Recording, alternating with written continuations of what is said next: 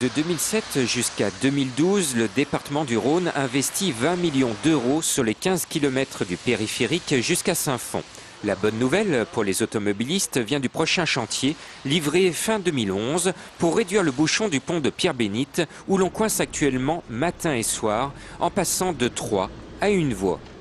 Ce goulot d'étranglement qui, tous les matins, oblige des, milliers d'automobilistes à stationner en zone de risque chimique sur la route départementale 312 en direction de Pézin, sur le pont autoroutier de Pierre-Bénite et sur la 450 en rive droite au niveau de Pierre-Bénite, au niveau d'Irigny, au niveau de Saint-Genis-Laval. Nous voulons faire sauter ce goulot d'étranglement.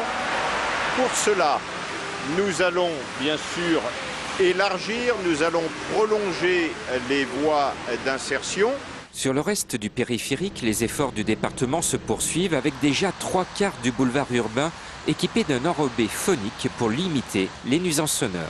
Il s'agit d'un enrobé dit phonique qui divise par deux euh, le, bruit, donc on est à moins de 3 décibels. Donc on travaille sur les chaussées, les revêtements de chaussées, la mise en lumière avec l'éclairage, mais aussi sur les 54 ouvrages d'art qui euh, jalonnent le périphérique. Alors ces ouvrages d'art, dès l'année 2009, bénéficiant du plan de relance euh, du département du Rhône, ont pu être traités par exemple au niveau des, des appuis avec un nettoyage et une imperméabilisation. L'autopont vers l'entrée de Vénissieux va être renforcé par des fibres de carbone au niveau de son tablier. Jusqu'en 2012, le département promet de limiter les gènes pour les automobilistes en réalisant les travaux la nuit et pendant les vacances.